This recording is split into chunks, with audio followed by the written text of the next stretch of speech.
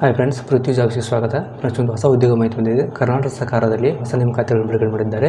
ಇಲ್ಲಿ ಮಹಾನಗರ ಪಾಲಿಕೆಯಲ್ಲಿ ಪೌರ ಕಾರ್ಮಿಕರ ಹುದ್ದೆಗಳನ್ನು ಅರ್ಜಿ ಕರೆದಿದ್ದಾರೆ ಈ ಹುದ್ದೆಗಳಿಗೆ ಯಾವುದೇ ರೀತಿ ವಿದ್ಯಾರ್ಥಿ ಬೇಕಾಗಿಲ್ಲ. ಅವರು ಈ ಹುದ್ದೆಗೆ ಅರ್ಜಿಯನ್ನು ಸಲ್ಲಿಸಬಹುದಾಗಿದೆ. ಫ್ರೆಂಡ್ಸ್ ನಿಮಗೆ ಈ ವಿಡಿಯೋದಲ್ಲಿ ಇಲ್ಲಿ ಎಷ್ಟು ಹುದ್ದೆಗಳು ಕಾಲಿವೆ ಮತ್ತು ಯಾರು ಅಪ್ಲೈ ಮಾಡಬೇಕು ಎಜುಕೇಷನ್ ಇರಬೇಕು ಹಾಗೂ ಸ್ಯಾಲ್ರಿ ಯಾವ ರೀತಿ ಇರುತ್ತೆ ಅಪ್ಲೈ ಮಾಡೋದಕ್ಕೆ ಅಂತ ಎಲ್ಲವನ್ನು ಸಂಪೂರ್ಣ ಹೇಳ್ತೀನಿ. ವಿಡಿಯೋನ ಸ್ಕಿಪ್ ಮಾಡಿದೆ ಕೊನೆ ತಗೊಂಡು ಹಾಗೆ ಮಾಹಿತಿ ಇಷ್ಟ ಒಂದು ಲೈಕ್ ಮಾಡಿ ಮತ್ತು ಶೇರ್ ಮಾಡಿ, ನಿಮ್ಮ ಅನಿಸಿಕೆಯನ್ನು ಕಮೆಂಟ್ ಮಾಡಿ. ಹಾಗೆ ಹೊಸಬರು ಯಾರು ನಮ್ಮ ಚಾನಲ್ ನೋಡ್ತಾ ಇದ್ದಾರೆ, ಅವರು ನಮ್ಮ ಚಾನಲ್ನ ಸಬ್ಸ್ಕ್ರೈಬ್ ಮಾಡ್ಕೊಳ್ಳಿ. ಹಾಗೆ ಪಕ್ಕದಲ್ಲಿರ್ತಕ್ಕಂಥ ಬೆಲ್ ಐಕಾನ್ ಆನ್ ಮಾಡಿಕೊಂಡ್ರೆ ನಾವು ಅಪ್ಲೋಡ್ ಮಾಡುವ ಪ್ರತಿಯೊಂದು ವಿಡಿಯೋ ನಿಮಗೆ ನೋಟಿಫಿಕೇಶನ್ ಆಗಿ ಬರ್ತವೆ. ಹಾಗೂ C S C B K job ಬಗ್ಗೆ ಸರ್ಕಾರಿ ಇದರ ಮಾಹಿತಿಗಳು ದೊರೆಯುತ್ತಿದೆ ಓಕೆ ಫ್ರೆಂಡ್ಸ್ ನೇರ ವಿಷಯಕ್ಕೆ ಬಂದಾಗ. ನೋಡಿ ಫ್ರೆಂಡ್ಸ್ ಅದು ಕರ್ನಾಟಕ ಸರ್ಕಾರದ ವಿಜಯಪುರ ಜಿಲ್ಲೆಯ ಮಹಾನಗರ ಪಾಲಿಕೆ ಆಫೀಸ್ ವೆಬ್ಸೈಟ್ ಆಗಿದೆ. ಇಲ್ಲಿರ್ತಕ್ಕಂಥ ನೇಮಕಾತಿಗಳಾಗಿವೆ ಇಲ್ಲಿ ಪೌರ ಕಾರ್ಮಿಕರ ಹುದ್ದೆಗಳನ್ನು ಅರ್ಜಿ ಅದರ ಬಗ್ಗೆ ನಿಮಗೆ ಈ ವಿಡಿಯೋದಲ್ಲಿ ಮಾಹಿತಿ ತೋರಿಸ್ತೀನಿ ಏನಿದೆ ಅಂತ. ನೋಡಿ ಫ್ರೆಂಡ್ಸ್ ಇಲ್ಲಿ ನೋಟಿಫಿಕೇಶನ್ ಕೊಟ್ಟಿದ್ದಾರೆ. ವಿಜಯಪುರ ಮಹಾನಗರ ಪಾಲಿಕೆ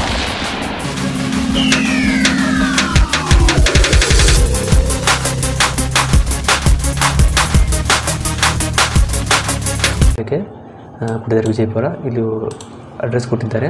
ಇದು ಅಧಿಸೂಚನೆ ಬಿಡುಗಡೆ ಮಾಡಿದ ದಿನಾಂಕ ಮೂವತ್ತೊಂದು ಒಂದು ಎರಡು ಸಾವಿರದ ಇಪ್ಪತ್ನಾಲ್ಕು ಆಗಿರ್ತದೆ ಪೌರ ಕಾರ್ಮಿಕರ ಹುದ್ದೆಗಳಿಗೆ ಅರ್ಜಿ ಆಹ್ವಾನ ಅಂತ ಕೊಟ್ಟಿದ್ದಾರೆ. ಇಲ್ಲಿ ನೀವು ನೋಡಬೇಕಾಗಿದ್ದು ಹುದ್ದೆಗಳ ಹೆಸರು ಕೊಟ್ಟಿದ್ದಾರೆ. ಹುದ್ದೆಗಳ ಹೆಸರು ಹುದ್ದೆಗಳ ಹೆಸರು, ಹುದ್ದೆಗಳ ಸಂಖ್ಯೆ. ಇಲ್ಲಿ ಹುದ್ದೆಗಳ ಹೆಸರು ಬಂದು ಪೌರ ಕಾರ್ಮಿಕರು ಹುದ್ದೆಗಳಾಗಿವೆ. ಸ್ಯಾಲ್ರಿ ಬಂದ್ಬಿಟ್ಟು ಹದಿನೇಳು ಸಾವಿರದಿಂದ ಇಪ್ಪತ್ತೆಂಟು ಸಾವಿರದ ಒಂಬತ್ತು ಐದು ರೂಪಾಯಿ ಪರ್ ಮಂತ್ ಸ್ಯಾಲರಿ ಇರುತ್ತೆ. ಒಟ್ಟು ಹುದ್ದೆಗಳು ಬಂದ್ಬಿಟ್ಟು ತೊಂಬತ್ತ್ಮೂರು ಹುದ್ದೆಗಳಿವೆ ಇಲ್ಲಿ. ಅರ್ಹತೆ ಬಂದ್ಬಿಟ್ಟು ಕನ್ನಡ ಭಾಷೆ ಮಾತನಾಡಲು ಕೊಟ್ಟಂತೆ ಕೊಟ್ಟಿದ್ದಾರೆ.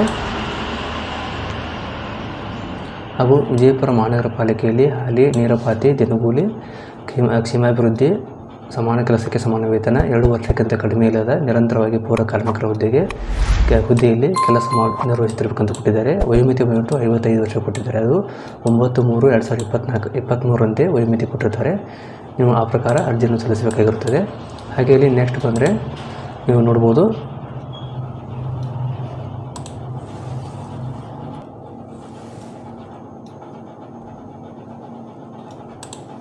ಫ್ರೆಂಡ್ಸ್ ಇಲ್ಲಿ ಮೀಸಲಾತಿ ವಿವರ ಕೊಟ್ಟಿದ್ದಾರೆ. ಮೀಸಲಾತಿ ಮೀಸಲಾತಿ ಇತರೆ ಮಹಿಳಾ, ಗ್ರಾಮೀಣ, ಮಾಜಿ ಸೈನಿಕ ಯೋಜನೆ ನಿರ್ದೇಶಿತ ಕನ್ನಡ ಮಾಧ್ಯಮ ವಿಕಲಚೇತನ ಈ ರೀತಿ ಹಲವಾರು ಮೀಸಲಾತಿ ಇವೆ ಇಲ್ಲಿ. ಇನ್ನು ಇದು ವಿಜಯಪುರದ ಆಫೀಸಲ್ಲಿ ಮಹಾನಗರ ಪಾಲಿಕೆ ಆಫೀಸಲ್ಲಿ ವೆಬ್ಸೈಟ್ ಆಗಿದೆ. ಇಲ್ಲಿಂದ ಅರ್ಜಿಯನ್ನು ಸಲ್ಲಿಸಬೇಕಾಗಿರುತ್ತದೆ. ಇನ್ನು ಅರ್ಜಿ ಸಲ್ಲಿಕೆ ವಿಧಾನ ಮತ್ತು ಸ್ವೀಕೃತ ಕಾಲಮಿತಿ ಕೊಟ್ಟಿದ್ದಾರೆ. ಅರ್ಜಿ ಸಲ್ಲಿಸಲು ಆರಂಭ ದಿನಾಂಕ ಐದು ಎರಡು ಎರಡು ಸಾವಿರದ ಇಪ್ಪತ್ತ್ನಾಲ್ಕರಿಂದ ಅಂದರೆ ಇವತ್ತಿನಿಂದ ಅರ್ಜಿ ಆರಂಭವಾಗಿದೆ. ಇನ್ನು ಅರ್ಜಿ ಸಲ್ಲಿಸುವ ಕೊನೆಯ ದಿನಾಂಕ ಮೂರು ಸಾರಿ ಐದು, ಮೂರು, ಎರಡು ಸಾವಿರದ ಇಪ್ಪತ್ತ್ನಾಲ್ಕು ಸಾಯಂಕಾಲ ಐದು, ಮೂವತ್ತು ಗಂಟೆಗಳು ಕೊಟ್ಟಿದ್ದಾರೆ. ಅಷ್ಟೊಂದು ಅರ್ಜಿಯನ್ನು ಸಲ್ಲಿಸಬೇಕಾಗಿರುತ್ತದೆ. ಇಲ್ಲಿ ಕೆಲವು ಮಾಹಿತಿಯನ್ನು ಕೊಟ್ಟಿದ್ದಾರೆ. ಕಾಸ್ಟ್ ವೈಸ್ ಯಾವಿಂದ ಅದನ್ನು ಕೂಡ ಕೊಟ್ಟಿದ್ದಾರೆ. ವಿಶೇಷ ಸೂಚನೆ ಕೊಟ್ಟಿದ್ದಾರೆ. ನೋಡ್ಕೋಬೋದು ನೀವು. ಟೈಮಿಂಗ್ ಬಂದ್ಬಿಟ್ಟು ಕಚೇರಿ ಸಮಯದಲ್ಲಿ ಇಲ್ಲಿ ಕಚೇರಿ ಸಮಯ ಅಂದರೆ ಬೆಳಗ್ಗೆ ಹತ್ತು ಗಂಟೆಯಿಂದ ಸಾಯಂಕಾಲ ಐದು ಗಂಟೆವರೆಗೆ ನೀವು ಆಡಳಿತ ಶಾಖೆಯನ್ನು ಸಂಪರ್ಕಿಸಿ ಅಗತ್ಯ ಮಾ, ಪಡೆದು ಅರ್ಜಿ ಸಲ್ಲಿಸಬಹುದು ಅಂತ ಕೊಟ್ಟಿದ್ದಾರೆ. ಇಲ್ಲಿ ಅರ್ಹತಾ ಷರತ್ತು. ಈ ಹುದ್ದೆಗೆ ಅರ್ಹತೆ ಏನಾಗಿರಬೇಕಪ್ಪ ಅಂದರೆ ಮೊದಲನೇದಾಗಿ ಭಾರತೀಯ ಪ್ರಜೆನಾಗಿರಬೇಕು ಆಮೇಲೆ ಸರ್ಕಾರ ಆದೇಶ ಸಂಖ್ಯೆ ಒಂದೂರ ಎಪ್ಪತ್ತೊಂದು ಎಂ ಎನ್ಗೆ ಒಂಬತ್ತು ಮೂರು ಎರಡು ಸಾವಿರದ ಇಪ್ಪತ್ತ್ಮೂರಲ್ಲಿ ಆದೇಶ ನಿರ್ಣಯ ಒಂಬತ್ತು ಮೂರು ಎರಡು ಸಾವಿರದ ಇಪ್ಪತ್ತ್ಮೂರಕ್ಕೆ ಐವತ್ತೈದು ವರ್ಷ ಮೇಲುಬಾರದಿಂದ ಕೊಟ್ಟಿದ್ದಾರೆ. ವಿಜಯಪುರ ಮಹಾನಗರ ಪಾಲಿಕೆಯಲ್ಲಿ ಒಂಬತ್ತು ಮೂರು ಎರಡು ಸಾವಿರದ ಇಪ್ಪತ್ತ್ಮೂರಕ್ಕೆ ಎರಡು ವರ್ಷಗಳಿಂದ ಕಾರ್ಯನಿರ್ವಹಿಸುತ್ತಿರುವ ಹಾಗೂ ಸೇವೆಯಲ್ಲಿ ಮುಂದುವರಿತಿರುವ ಹಾಲಿ ನೇರ ಪಾವತಿ ದಿನಗೂಲಿ ಕ್ಷೇಮಾಭಿವೃದ್ಧಿ ಅಧಿನಿಯಮ, ಸಮಾನ ವೇತನಕ್ಕೆ ಸಮಾನ ಕೆಲಸ ಕೆಲಸ ಮಾಡುತ್ತಿರುವ ಪ್ರಮಾಣಕ್ಕೆ ಅಂತ ಕೊಟ್ಟಿದ್ದಾರೆ P F E S I ಹೊಂದಿರಬೇಕು ಅಂತ ಕೊಟ್ಟಿದ್ದಾರೆ. ಇನ್ನು ದೈಹಿಕ ಸದೃಢತೆ ಇರಬೇಕು. ಜಿಲ್ಲಾ ಆಸ್ಪತ್ರೆ ವೈದ್ಯಾಧಿಕಾರಿಯಿಂದ ಪ್ರಮಾಣ ಪತ್ರ ಪಡಿಬೇಕಂತ ಕೊಟ್ಟಿದ್ದಾರೆ. ಆಮೇಲೆ ಕನ್ನಡ ಭಾಷೆ ಮಾತನಾಡಲು ಬಗ್ಗೆ ಜ್ಞಾನವಿರಬೇಕು. ಅದರ ಬಗ್ಗೆ ಸ್ವಯಂ ಘೋಷಣಾ ಪತ್ರ ಹಚ್ಚ- ಹಚ್ಚಬೇಕಂತ ಕೊಟ್ಟಿದ್ದಾರೆ. ಇನ್ನು ಈ ಹುದ್ದೆಗೆ ಯಾವುದೇ ಶೈಕ್ಷಣಿಕ ಅರ್ಹತೆ ಅಗತ್ಯವಿರೋದಿಲ್ಲ ಅಂದರೆ ಯಾವುದೇ ರೀತಿಯಲ್ಲಿ ಶೈಕ್ಷಣಿಕ ಅರ್ಹತೆ ಕೊಟ್ಟವರು ಯಾರು ಬೇಕಾದ್ರೂ ಅಪ್ಲೈ ಮಾಡ್ಬೋದು. ಈ ಮೇಲಿನ ಕಂಡೀಷನ್ಸ್ ಇದ್ದವರು ಅಪ್ಲೈ ಮಾಡ್ಬೋದು. ಆಮೇಲೆ ಅಭ್ಯರ್ಥಿಗಳ ವಯಸ್ಸನ್ನು ಶೈಕ್ಷಣಿಕ ದಾಖಲೆಗಳು ಅಥವಾ ಅವರ ಆಧಾರ್ ಕಾರ್ಡ್ ಚುನಾವಣೆ ಯಾವುದೋ ಒಂದು ಡಾಕ್ಯುಮೆಂಟ್ ಮೂಲಕ ಅವರ ಏಜನ್ನು ಕನ್ಸಿಡರ್ ಮಾಡ್ತಾರೆ. ಸರ್ಕಾರ ಆದೇಶ ಸಂಖ್ಯೆ ಪ್ರಕಾರ ನೇಮಕಾತಿ ಅಂತ ಕೊಟ್ಟಿದ್ದಾರೆ. ಇನ್ನು ಈ ಹುದ್ದೆಗೆ ಅನರ್ಹತೆ ಮೂರು ಎರಡು ಪಾಯಿಂಟ್ ಇವೆ, ಅದನ್ನು ಓದ್ಕೊಳ್ಳಿ. ಇನ್ನು ನೇಮಕಾತಿ ವಿಧಾನ. ಇಲ್ಲಿ ಯಾವ ರೀತಿ ನೇಮಕಾತಿ ಆಗ್ತಿದೆ ಅಂದರೆ ಕರ್ನಾಟಕ ಸರ್ಕಾರದ ಆದೇಶ ಸಂಖ್ಯೆ ಪ್ರಕಾರ ಒಂದೂರ ಎಪ್ಪತ್ತೊಂದು ಎಂ ಎನ್ ಎ ಈ ಪ್ರಕಾರ ನಿಯಮಗಳನ್ವಯ ಪ್ರಾರಂಭದ ದಿನಕ್ಕೆ ದಿನಕ್ಕೆ ಮುಂಚೆ ಪಾಲಿಕೆಯಲ್ಲಿ ಎರಡು ವರ್ಷಗಳಿಗಿಂತ ಕಡಿಮೆ ಇಲ್ಲದಂತೆ ನಿರಂತರವಾಗಿ ಸೇವೆ ಸಲ್ಲಿಸುತ್ತಿರುವ ಹಾಗೂ ಹಾಗೆ ಸೇವೆ ಸಲ್ಲಿಸಿ ಕಾರ್ಯನಿರ್ವಹಿಸುತ್ತಿರುವುದನ್ನು ಮುಂದುವರಿಸುತ್ತಿರುವ ಹಾಲಿ ನೇರ ಪಾವತಿ ದಿನಗೂಲಿ ಕ್ಷೇಮಾಭಿವೃದ್ಧಿ ಅಧಿನಿಯಮ, ಸಮಾನ ಕೆಲಸಕ್ಕೆ ಸಮಾನ ವೇತನ, ಕೆಲಸ ಮಾಡುತ್ತಿರುವವರು ಅಗತ್ಯ ನೀಡುತ್ತೆಂದು ಕೊಟ್ಟಿದ್ದಾರೆ ಆಮೇಲೆ ಕಡಿಮೆ ವರ್ಷ ಸೇವೆ ಸಲ್ಲಿಸುವುದಕ್ಕಿಂತ ಹೆಚ್ಚಿನ ವರ್ಷ ಸೇವೆ ಸಲ್ಲಿಸಿದರೂ ಪರಿಗಣಿಸಲಾಗುವುದು. ನೇರ ಪಾವತಿ, ದಿನಗೂಲಿ ಕ್ಷೇಮಾಭಿವೃದ್ಧಿ ಅಧಿನಿಯಮ, ಸಮಾನ ಕೆಲಸಕ್ಕೆ ಸಮಾನ ವೇತನದಲ್ಲಿ ಕಾರ್ಯನಿರ್ವಹಿಸಿರುವವರು ಅವರು ಎಂದು ಕೊಟ್ಟಿದ್ದಾರೆ ಇನ್ನು ಎರಡು ಎರಡು ಅಥವಾ ಅದಕ್ಕಿಂತ ಹೆಚ್ಚಿನ ಅಭ್ಯರ್ಥಿಗಳ ಜ್ಯೇಷ್ಠತೆಯ ಅವರ ವಯಸ್ಸಿನಿಗೆ ಅನುಗುಣವಾಗಿ, ಅಂದರೆ ಅವರ ವಯಸ್ಕರನ್ನು ಕಡಿಮೆ ವಯಸ್ಕರಿಗಿಂತ ಮೇಲೆ ಪರಿಗಣಿಸಲಾಗುವುದು ಹಾಗೂ ಹುಟ್ಟಿದ ದಿನಾಂಕದ ಮೇಲೆ ಅವರು, ಆ ಲಾಟರಿ ಆರಿಸಿ ಪರಿಗಣಿಸಿದ್ದು ಕೊಟ್ಟಿದ್ದಾರೆ. ಇನ್ನು ಸಂಖ್ಯಾರಿಕ್ತ ಪೌರ ಕಾರ್ಮಿಕರ ಹುದ್ದೆಗೆ ಭರ್ತಿ ಮಾಡಬೇಕಾದರೆ ಸಮತಳ ಮೀಸಲಾತಿ ಕನ್ನಡ ಮಾಧ್ಯಮ ಗ್ರಾಮೀಣ ಮಾಜಿ ಸೈನಿಕ ಅಭ್ಯರ್ಥಿಗಳೊಂದು ಮೀಸಲಾತಿ ಆ ಪ್ರಕಾರ ಕೊಟ್ಟಿದ್ದಾರೆ ಕಂಡೀಷನು ಆಮೇಲೆ ಪ್ರಸ್ತಾಪಿತ ಪೌರ ಕಾರ್ಮಿಕರ ಕಾಯಮಾವತಿ ಗುತ್ತಿಗೆ ಅಥವಾ ಅರ್ಹತೆ ಆಧಾರದ ಮೇಲೆ ಕಾರ್ಯನಿರ್ವಹಿಸುತ್ತಿರುವ ಇತರೆ ವರ್ಗಗಳ ನೌಕರರ ಸಿಬ್ಬಂದಿಗಳಿಗೆ ಪೂರ್ವಾದೇಶನವಾಗುವುದಿಲ್ಲ.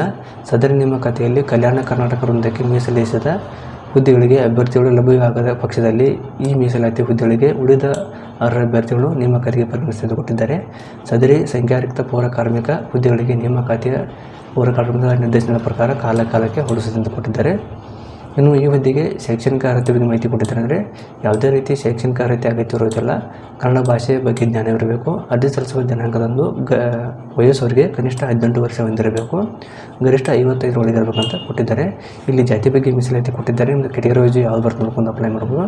ಇಲ್ಲಿ ಮಾಜಿ ಸೈನಿಕರು ಅಪ್ಲೈ ಮಾಡೋದಾರೆ ಅವರು ಕೆಲವೊಂದು ಕಂಡೀಷನ್ಸು ಮಾತ್ರ, ಮಾಹಿತಿ ಕೊಟ್ಟಿದ್ದಾರೆ ಓದ್ಕೊಳ್ಳೋದನ್ನು ಆಮೇಲೆ ಇಲ್ಲಿ ಗ್ರಾಮೀಣ ಅಭ್ಯರ್ಥಿ ಬಗ್ಗೆ ಮಾಹಿತಿ ಕೊಟ್ಟಿದ್ದಾರೆ. ಗ್ರಾಮೀಣ ಅಭ್ಯರ್ಥಿ ಯಾರು ಅಪ್ಲೈ ಮಾಡಬೇಕು, ಅದ್ರ ಬಗ್ಗೆ ಮಾಹಿತಿ ಕೊಟ್ಟಿದ್ದಾರೆ. ಅದನ್ನು ಓದ್ಕೊಳ್ಳಿ. ಕನ್ನಡ ಮಾಧ್ಯಮಕ್ಕೆ ಕೊಟ್ಟಿದ್ದಾರೆ. ಇನ್ನು ಹ್ಯಾಂಡಿಕ್ಯಾಪ್ಟ್ ವಿಕಲಚೇತನ ಅಭ್ಯರ್ಥಿಗಳ ಬಗ್ಗೆ ಅವ್ರ ಬಗ್ಗೆ ಮಾಹಿತಿ ಕೊಟ್ಟಿದ್ದಾರೆ. ಯಾರು ಅಪ್ಲೈ ಮಾಡಬೇಕಂತ ಅದನ್ನು ಓದ್ಕೊಳ್ಳಿ.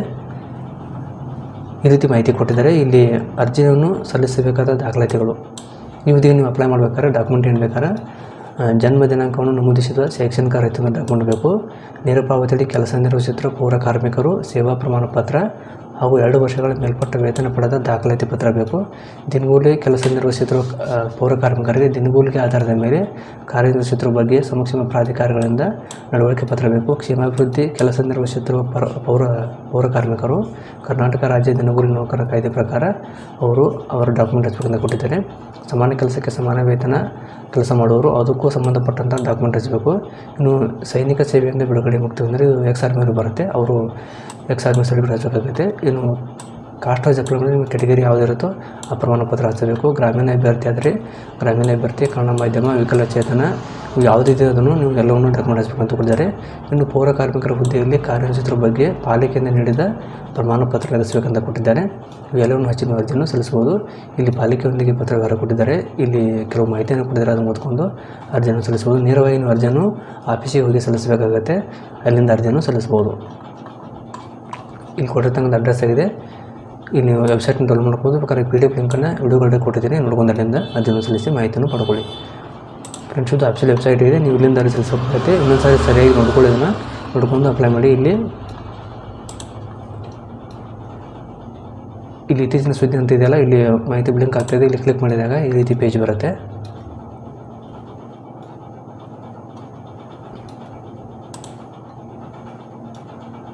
ಇಲ್ಲಿ ಸೂಚನೆ ಕೊಟ್ಟಿದ್ದಾರೆ. ಇಲ್ಲಿ ನೇಮಕಾತಿಯನ್ನು ಕೊಟ್ಟಿದ್ದಾರೆ. ಇಲ್ಲಿ ಬಂದಾಗ ಪೌರ ಕಾರ್ಮಿಕರ ಹುದ್ದೆಗೆ ಮಾಹಿತಿ ಆಗಡೆ ತೋರಿಸಿ ಪಿ ಡಿ ಎಫ್ ಇದೆ ಅದು ಲಿಂಕ್ ಓಪನ್ ಆಗುತ್ತೆ ಇಲ್ಲಿ ನೋಡ್ಕೊಂಡು ಮಾಹಿತಿಯನ್ನು ಪಡ್ಕೋಬೋದು. ಓಕೆ ಫ್ರೆಂಡ್ಸ್ ತಮಗೆ ಈ ಮಾಹಿತಿ ಇಷ್ಟ ಆಗಿದೆ ಅಂತ ಗೊತ್ತೀನಿ, ದಯವಿಟ್ಟು ಇಷ್ಟ ಆದರೆ ಒಂದು ಲೈಕ್ ಮಾಡಿ ಮತ್ತು ಶೇರ್ ಮಾಡಿ ನಿಮ್ಮ ಕಮೆಂಟ್ ಮಾಡಿ. ಫ್ರೆಂಡ್ಸ್ ವಿಡಿಯೋ ನೋಡೋದಕ್ಕಾಗಿ ತುಂಬ ಧನ್ಯವಾದಗಳು. ಥ್ಯಾಂಕ್ಸ್ ಫಾರ್ ವಾಚಿಂಗ್ ಜೈ ಹಿಂದ್, ಜೈ ಕರ್ನಾಟಕ.